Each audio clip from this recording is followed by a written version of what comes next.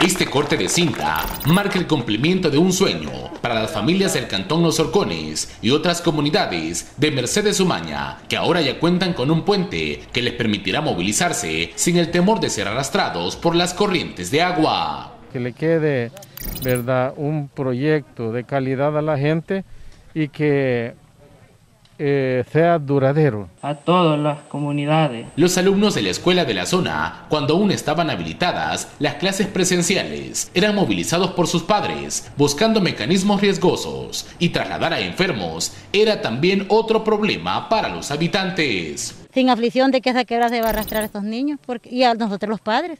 Incluso en ciertas ocasiones hemos venido a veces de comprar, aquí nos hemos estado hasta dos horas, hora y media, a veces hasta medianoche esperando que pasara la creciente para deber de pasar con nuestros comprados. El puente que fue diseñado con una sola vía tiene la capacidad de sostener hasta 70 toneladas, con la garantía que no se deteriorará y tendrá una vida útil de muchos años, pues este cumple con todas las normas establecidas por el Ministerio de Obras Públicas. Este es un reporte de periódico digital El Usuluteco. Para Telenoticias 21, Juan Carlos Chavarría.